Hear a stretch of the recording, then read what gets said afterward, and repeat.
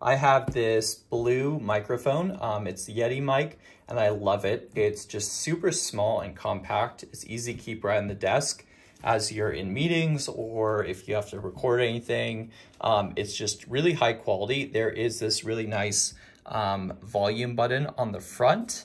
And then on the back, you have another button that does uh, the pattern. So you have options there. And then the base is also matched to the mic itself. So it's just very high quality and nice. Um, plus, you know, it just plugs right into your computer. So it's super easy to use. I highly suggest if you're just looking for a compact mic for your desk that's high quality, uh, checking this mic out.